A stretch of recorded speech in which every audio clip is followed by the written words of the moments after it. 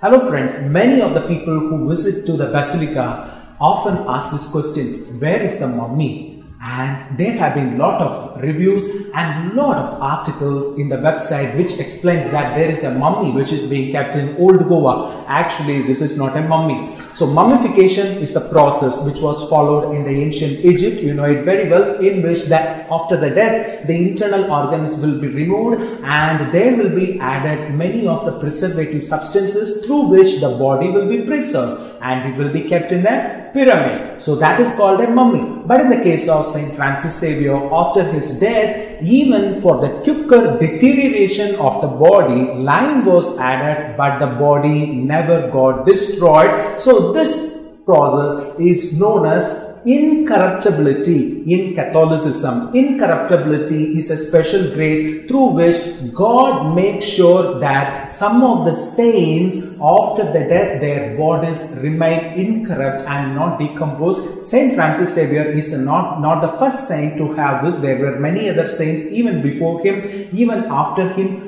who had this kind of uh, gift. So these bodies are known as incorrupt bodies and what is in the Basilica of Bom Jesus could be called as incorrupt body or the incorrupt remains or incorrupt relics of Saint Francis Xavier. So please don't call that as mummy. So an equivalent word in Hindi we, we can call that as Pavitra Sharir. Pavitra Sharir means a holy or a auspicious body. So you can call that because it's miraculous and don't call it just as a dead body because a dead body is set ready to be cremated or to be buried or it is going to decompose. But this body of Saint Francis Xavier, this Pavitra Sharir has not been decomposed for a long time. So may God bless you all. So when you are coming to Old Goa, if someone asks, where is mummy? Please explain them this fact that this is not mummy, this is Pavitra Sharir.